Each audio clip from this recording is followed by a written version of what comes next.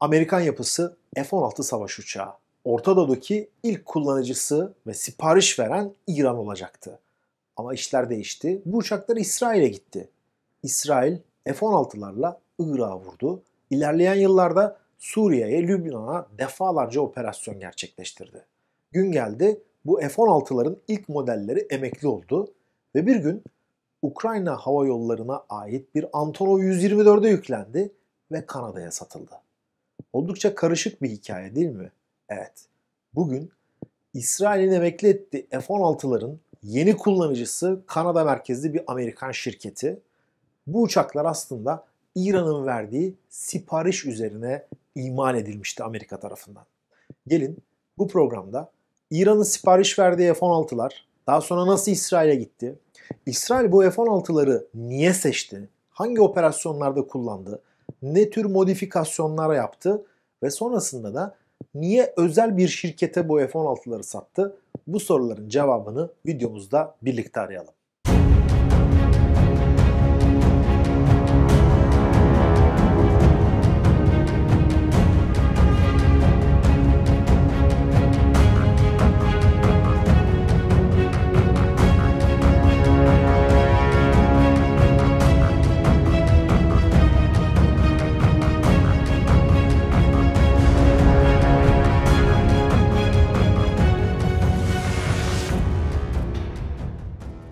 İran 1970'li yılların sonuna kadar Orta Doğu'da tabiri caizse Amerika'nın jandarmasıydı. İnanılmaz silah alımları Şah tarafından yapılıyordu. Hatta o yıllarda hiçbir ülkeye satılmayan F-14 Tomcat savaş uçakları bile İran Hava Kuvvetleri'nin envanterine girmişti. 1974 yılında ilk uçuşunu yapan F-16 yapılan testler sonucunda gelecekte Amerikan Hava Kuvvetleri'nin savaş uçağı olarak ana görevini üstlenecekti. 4 NATO ülkesinin ardından 1976 yılında İran 160'ı kesin 140'ı 140'ı da opsiyon toplam 300 uçak siparişi vererek girdi. Ve uçaklar 1979 yılından itibaren İran Hava Kuvvetleri'ne teslim edilecekti. Ama arada İran'da devrim oldu, Şah devrildi ve Amerika Birleşik Devletleri bu silahları, bu uçakları İran'a teslim etmekten vazgeçti. Bu arada F-16 için bazı ekipmanlar, yedek parçalar, yer destek cihazları İran'a gönderilmişti. İran uzun yıllar sonra bu ekipmanları ve yedek parçaları Pakistan'a özel bir izinle satacaktı. İran'da meydana gelen devrimin arkasından sipariş iptal olmuştu ve Amerika Birleşik Devletleri bu uçaklar için yeni bir ülke arıyordu bu ülke için Orta Doğu'da çok da uzağa gitmeye gerek kalmayacaktı. Hemen İsrail 1978 yılında Amerika Birleşik Devletleri'ne 75 adet F-16 A ve B modelinin siparişini verdi. O yıllarda İsrail Hava Kuvvetleri'nde F-15 kullanımı başlamıştı. Hava Kuvvetleri'nin ana vurucu gücünde F-4 Phantom'lar ve A-4 uçakları oluşturuyordu. İsrail uzun süre hesap kitap yapmış ve F-15 uçakları pahalı bulunmuştu.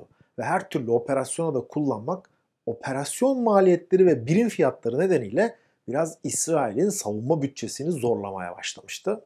Sonunda F-16 seçildi. Kuşkusuz işte İran'ın iptal ettiği siparişlerden de bir kısmı İsrail'e verilme teklifi bu konuda İsrail'i muhtemel iyi bir fiyatta yanına gelince hoşuna gitmişti.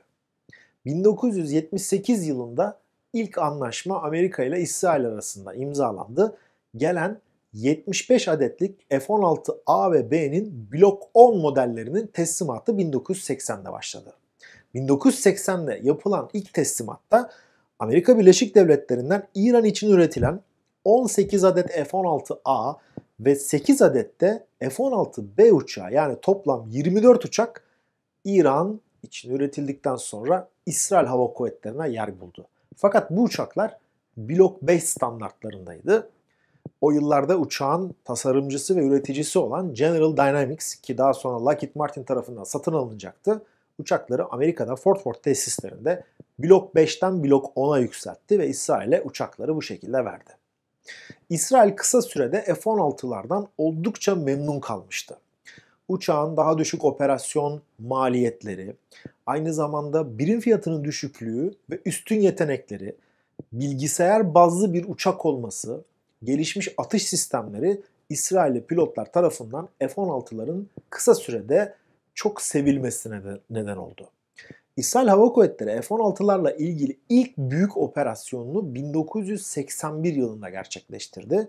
Fransızlar tarafından Irak'a inşa edilen nükleer tesisler özel bir operasyonla çok alçaktan uçan İsrail Hava Kuvvetleri'ne ait F-16'lar tarafından vuruldu ve bu aynı zamanda da Washington'a da haber verilmediği için İsrail-Amerikan ilişkilerinde bir türbülans dönemine soktu. Hatta Amerika Birleşik Devletleri bir süre İsrail'e sipariş verdiği F-16'ların teslimatını bile durdurdu.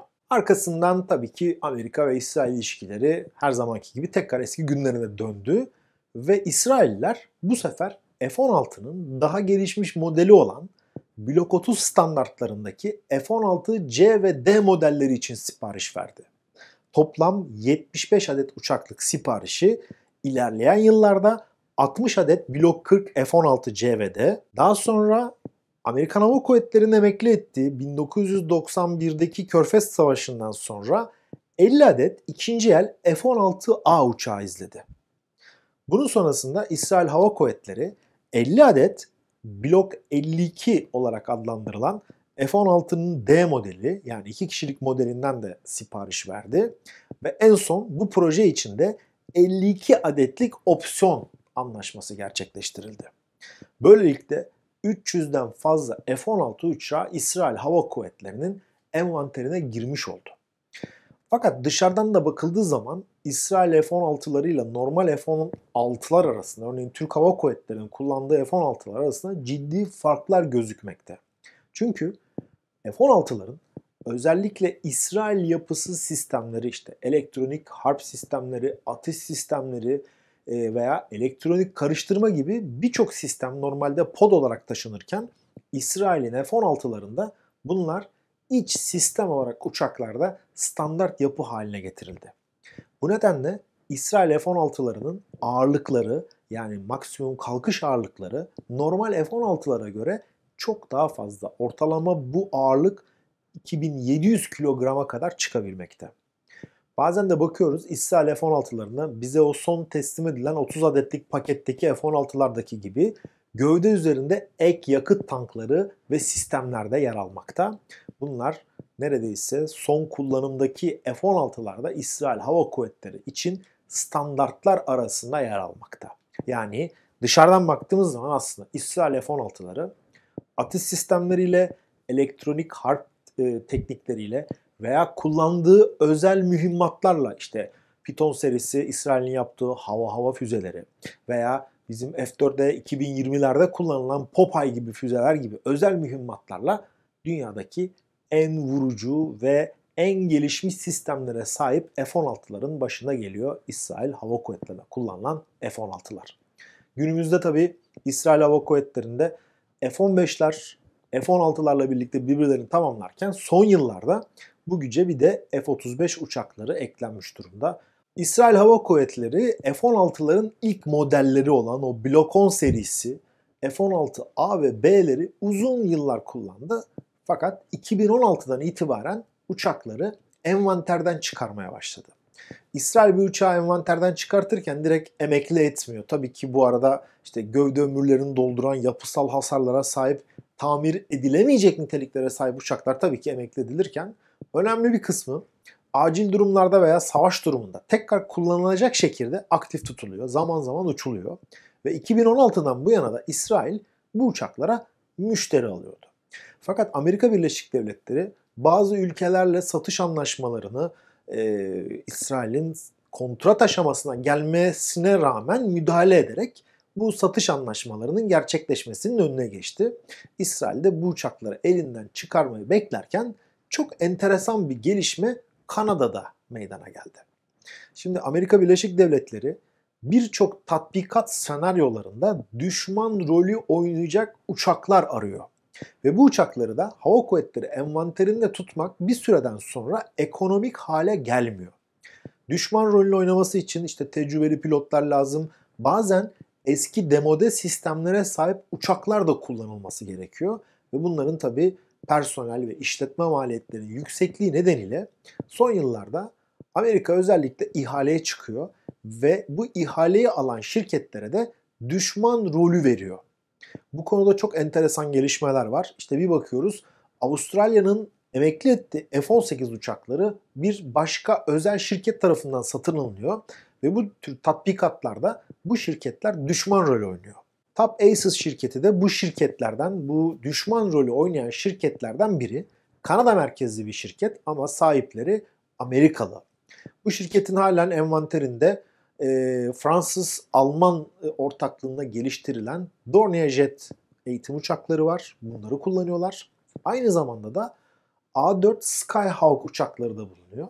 Ve şirket yaptığı toplam 100 milyon dolarlık anlaşmayla İsrail'den satın aldı F-16A ve B'lerle bunu farklı bir boyuta taşımayı hedefliyor. Tapasis toplam 29 adet F-16A ve B uçağını İsrail'den satın aldı. Tabi bu bütün satış anlaşmaları işte İsrail'in onayından geçiyor, Amerika'nın onayından geçiyor. Nereye gidilecek, ne yapılacak, hangi sistemler verilecek gibi çok detaylı anlaşma.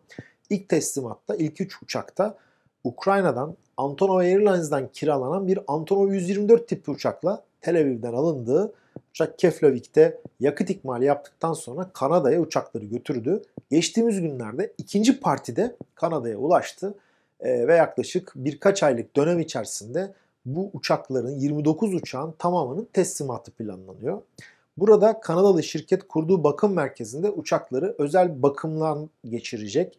Bazı sistemler sökülecek, bazı sistemler ise yerini daha gelişmiş olan e, işte bazı özel sistemlere, simülasyon sistemlerine yer verecek ve arkasından da Top Bases başta Amerikan Hava Kuvvetleri, Donanma Hava Kuvvetleri ve Deniz Piyadeleri olmak üzere hazırlanan tatbikatlarda düşman rolü oynamaya başlayacak. Tatbikatlar gerçekten son yıllarda giderek kapsamları genişliyor. Gerçeğe yakın şartlarda ama sanal olarak da gerçekleştirilebiliyor. Belki e, hava havaya gerçek mühimmatlar, füzeler, bombalar atılmasa da bilgisayar ortamında simüle ediliyor. Görevlere çıkılıyor. İşte Red Flag, Kızıl Bayrak bunun en tanınmışlarından biri. İşte geçmiş dönemde Türkiye-Amerika ilişkileri iyi dönemdeyken Türk Hava Kuvvetleri bu tatbikatlara katılırdı. Daha sonra elde edilen tecrübelerle Konya'da 3. Anajet Üst Komutanlığı'nda Anadolu Kartalı Tatbikat Merkezi kuruldu. E, ne yazık ki son yıllarda e, gelen yabancı ülke sayısı azalsa da en son biliyorsunuz İngiliz Kraliyet Hava Kuvvetleri'nin Eurofighter'ları gelmişti Konya'ya. E, bu konuda Türkiye çok önemli bir altyapıya sahip.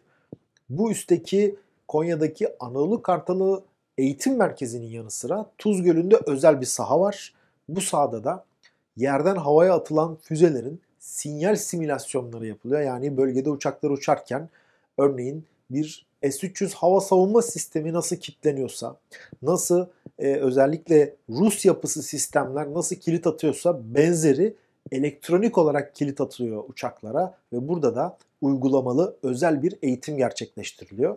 Son yıllarda Yunanistan Girit merkezli kurduğu bu tatbikat merkeziyle bölgeye diğer uçakları, diğer ülkeleri, hava kuvvetlerini çekmeye hesap, e, hedefliyor. Girit'teki tatbikata bakıyoruz. Zaman zaman İsrail Hava Kuvvetleri, Mısır Hava Kuvvetleri, Birleşik Arap Emirlikleri e, çok sık katılımcı arasında tabii ki gedikli katılımcılardan biri de Fransız hava ve donanma güçlerinin olduğunu da belirtmemizde fayda var. Bugün İran'ın verdiği siparişle başlayan F-16 üretiminin İsrail'e gitmesi, İsrail'den bölgeye yapılan bütün operasyonlarda kullanılması ve sonra uçakların Kanada merkezli bir Amerikan şirketine satılmasının hikayesini anlatmaya çalıştım sizlere. Burada tabii bu F-16'lar muhtemel daha uzun yıllar gökyüzünde görev yapıp düşman rolü oynamaya, bölgedeki işte Amerikan güçlerini, Kanada güçlerini eğitmeye devam edecekler.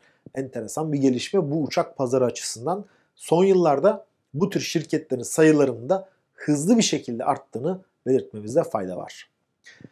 Kanalımız hafta içi her gün değişik havacılık ve savunma videolarıyla sizin karşınıza çıkıyor. Gelişmelerden haberdar olmak için lütfen kanalımıza abone olmayı unutmayın ve bildirim tuşunuzu açın. Detaylı sivil havacılık, askeri havacılık, savunma konusundaki haberlerimiz tolgozbek.com sitesinde. Bize sorularınızı yorum yazarak iletebilirsiniz veya info.tolgozbek.com adresine mail atabilirsiniz. Yarın yeni bir videoda görüşmek üzere. Herkese sağlıklı ve mutlu günler diliyorum.